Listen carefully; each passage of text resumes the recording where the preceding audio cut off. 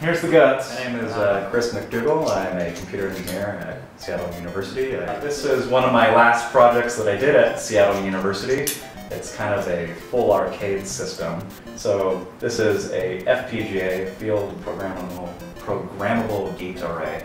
Uh, what that means is you put code into it and the hardware on the board uh, emulates what your design is. So that way I could put code that replicated an arcade game and it would store it and change the hardware to emulate essentially a 1980s arcade.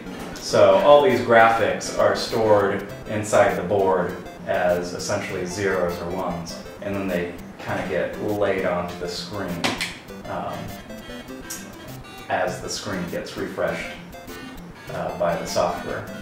So we have uh, some controls here, and what these controls do is every time you press a button or move the joystick, it, it sends a, um, a, signal to this board, uh, which passes it through a gate, and then passes it to the main board, and the main board says, oh, I just read a voltage uh, around 5 volts, and then it, it knows which button that corresponds to, and then updates your position on the screen.